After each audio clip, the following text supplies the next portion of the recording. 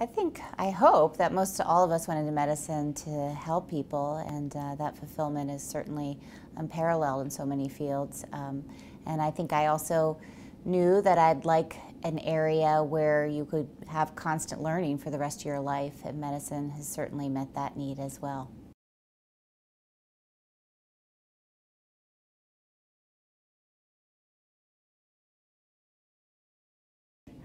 Ophthalmology, I found somewhat fortuitously. Um, I love surgical subspecialties within medical school, and um, I think the technology that was really evolving when I was a med student and throughout my residency and career was was really quite interesting. And so, being a relatively young field um, as far as advancements go within the surgical subspecialties, I found it pretty fascinating. Cornea I found quite interesting because it seemed so obvious and visible. It's the first layer that you're looking at when you're examining the eye. Yet at the same time, as I learned more about it, I saw how complex it could be and um, how much you could find just within that, that uh, initial encounter.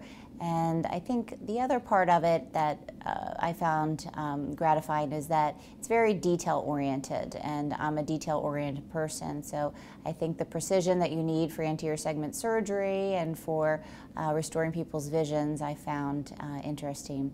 And then lastly, I would say uh, we're lucky in that in the field of cornea, so many of the conditions we're able to treat, whether medically or surgically, but it's a part of the eye that's pretty resilient and can improve with those uh, tools.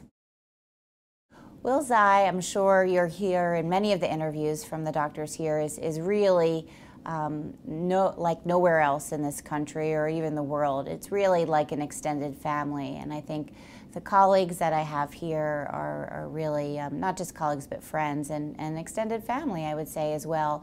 Um, I was a resident here, so I've, i really felt that connection. I remember on my, my first um, interview day here, I could really feel that, and I think that feeling hasn't gone away. And so I enjoy being with the residents now and, and come giving back um, like so many that had given to me and taught me during my residency years. Anything outside, um, I certainly am an active person and uh, I just ran Broad Street Run with a lot of the Wills residents, which was, and some attendings too, so that was fun. Um, and uh, I enjoy spending time with my daughter who's graduating from kindergarten next week. Um, but I think any, any outdoor activity really is my stress relief. So running, biking, swimming, um, anything and everything that can, can take your mind off of your busy day is, is, is a great uh, help to me.